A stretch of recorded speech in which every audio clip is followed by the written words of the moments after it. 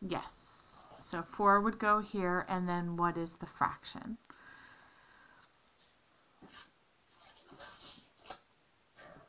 Um, four and five tenths. Mm-hmm. So you put a 4 in here and then 5 tenths here, right? How about number 32?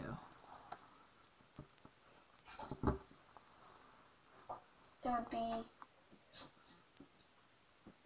two in the first box, three in the second box, and then the last box seven tenths. Good. But this is not really a 2, it's a... Oh.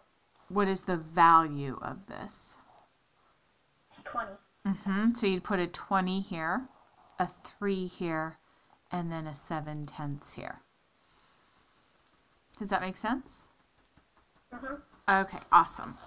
Now we're going to go on to this. There is a big box and it has a hundred squares in it. And each of these lines are 10 and each of these lines are 10. So if I filled in this and this, we could see that that is 0.20. Does that make sense to you? Uh-huh. Okay, so for this one, they're saying six of these boxes are filled in, but they didn't do 0.6, they did 0.06. Does that make sense to you, or do you want me to explain why? Well, I mean, it doesn't change the value unless the zero is on the back. It does change, this is not the same as this. So if you did, suppose you said, oh, that's 0.6, that would be incorrect. It has to have a zero here. This zero doesn't matter. If you put the zero there, you're correct. If you don't put the zero there, you're correct. 0.06 and 0.06 with a zero in front, these are the same. So this zero doesn't matter. This just means zero ones. This is what matters. This zero has to be here. So, um, so this means right here, this 0.6 actually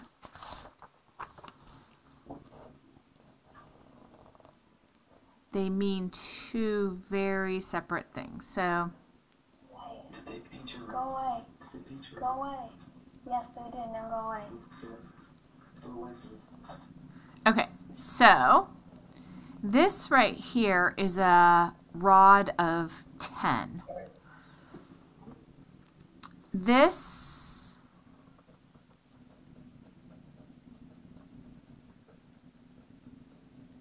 is what 0.6 is. This means 6 out of 10.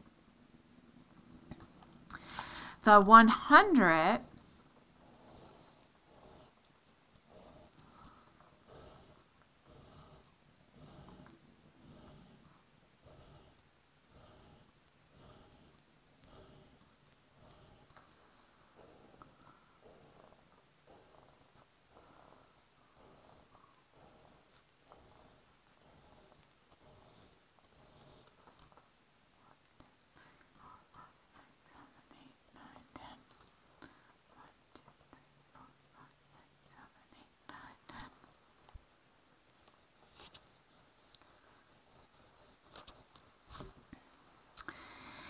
if you did 0.6 here, that would mean that you only had 10 rods because this is the 10th place, which means out of 10 little pieces of something.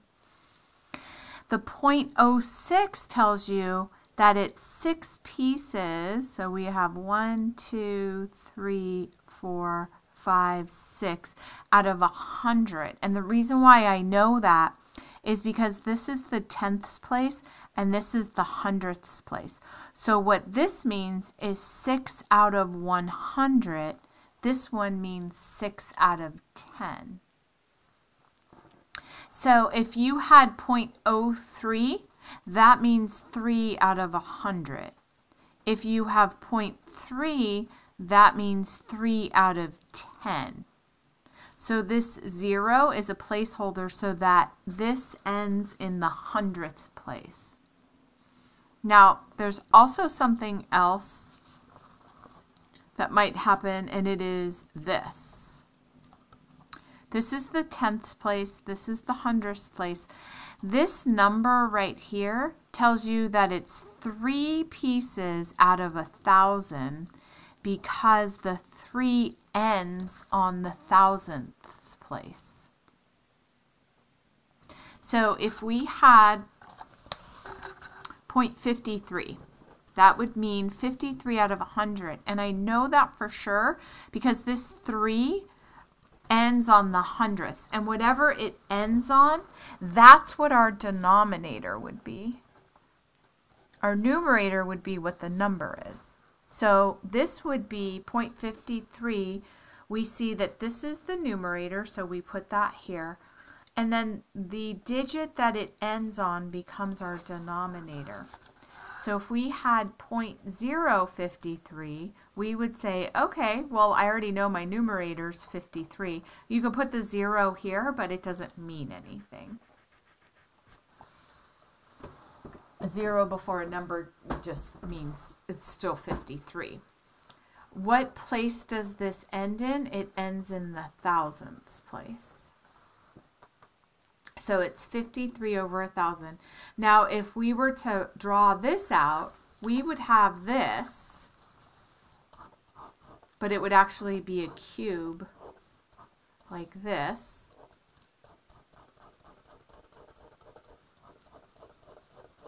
And the cube would be 10 deep.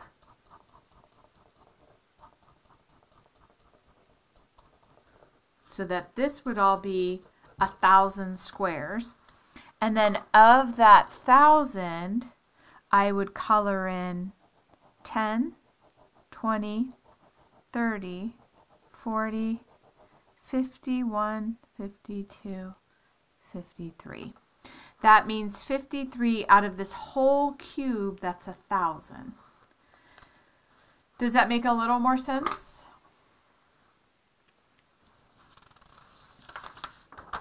Oh, I can't hear you. A little more. Okay, now let me explain to you what this means. So this means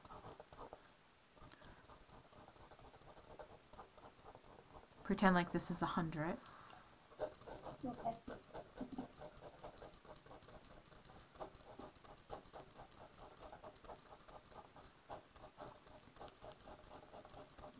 These are all hundreds. So this means three wholes. that's what this is. We have one, two, and three. Anything to the left of the decimal is a whole number. This is the ones. This is the tens. The right, it gets smaller. Yeah, this means not even one. Anything here means less than one.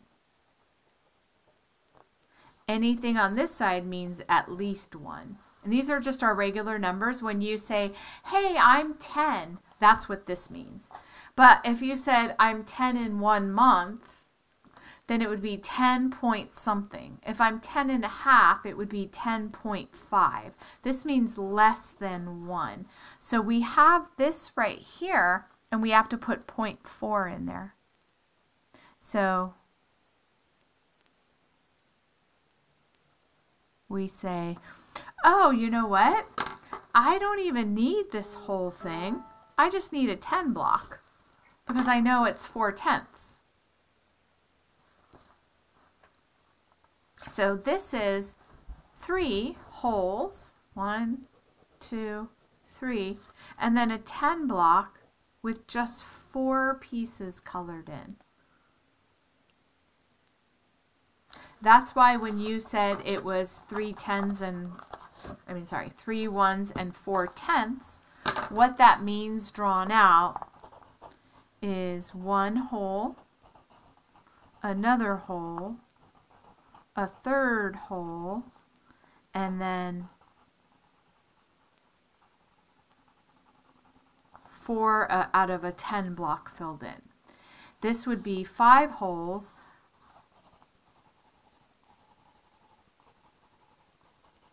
and then it would be a 10 block with eight of them filled in.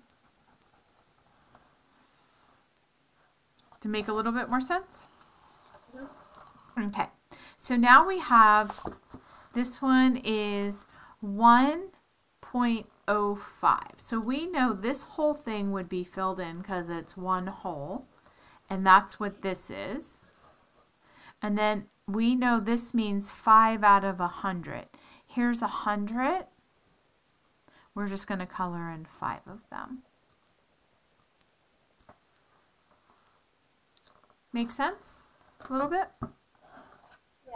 Okay.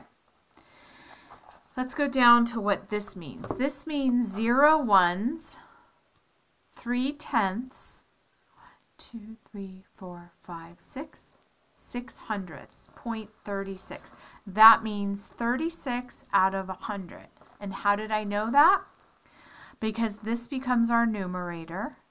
And then whatever digit it lands on, this is the tenths, this is the hundredths, that becomes our denominator. Okay. How about if you do number five? What do you think number five would be?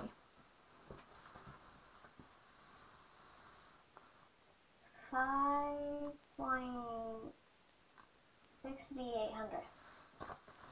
So it would be one, two, three, four, five, and one, two, three, four, five, six, one, two, three, four, five, six, seven, eight. Five and sixty-eight hundred. Mm-hmm. That means five wholes, and 68 is our numerator. What digit does it end on? The hundredths.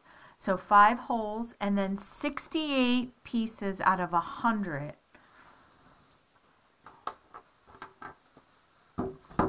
Make sense? All right. Why don't you try number six?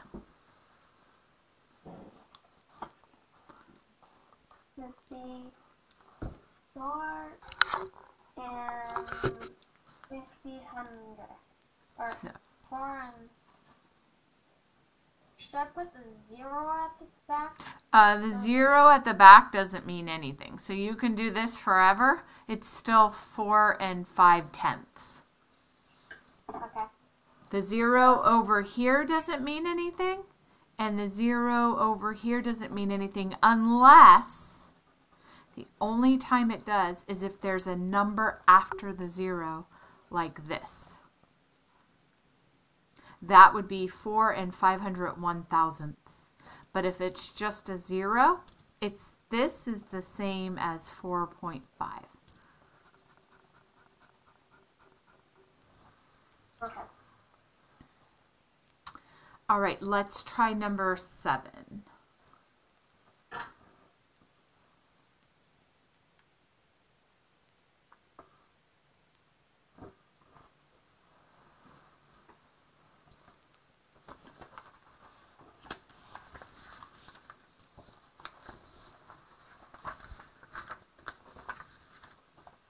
Two and five hundred.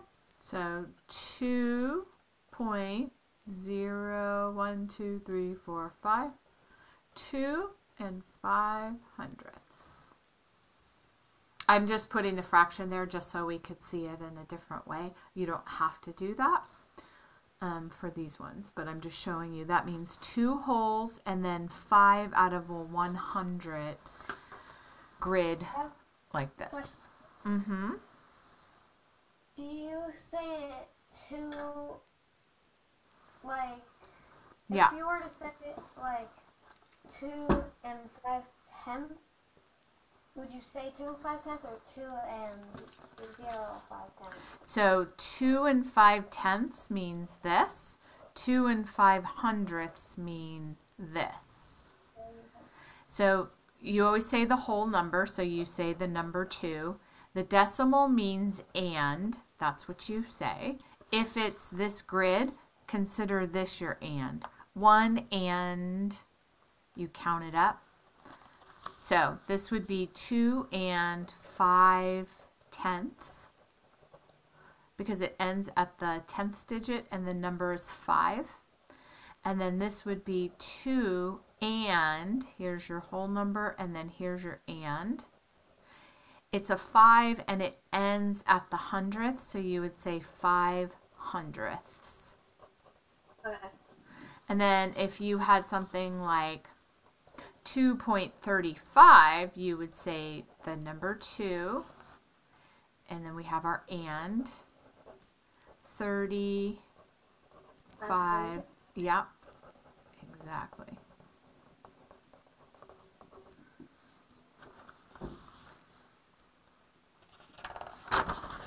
All right, so let's do number page six. We're gonna do nine hundredths. What would nine hundredths hundredths be as a decimal? Um. Point zero nine. Mm-hmm.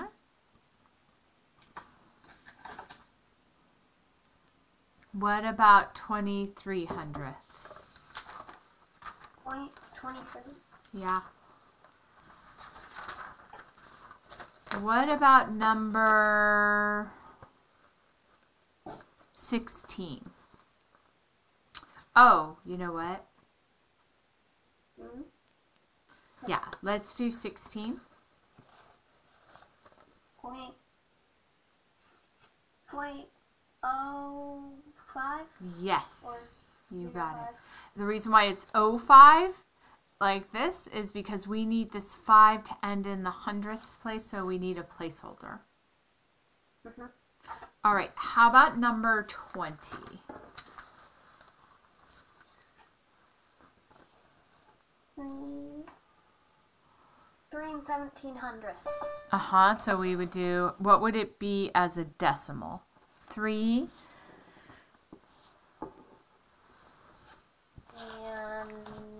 so you would do 3 point, seventeen yep, yep. And so it would look like this 3.17. Okay. Now, number 22. This is a little tricky. So we need the 233 to fit and be in the hundredths place, but that's impossible because this is the thousandths place. So when we look at this, we can say, oh, here's something weird. This goes over here. It's 2.33. And the reason why it's 2.33 is if I had a hundred of something, say this was a circle of a hundred pieces of pie, and I had 233, I would need more than, I went over one whole.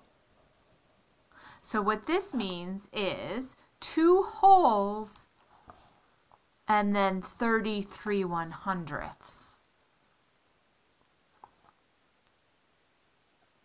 Why is there a thirty? Why would the thirty-three be at like the point though? There's- Um, okay, so let me show you uh, a different way to look at it.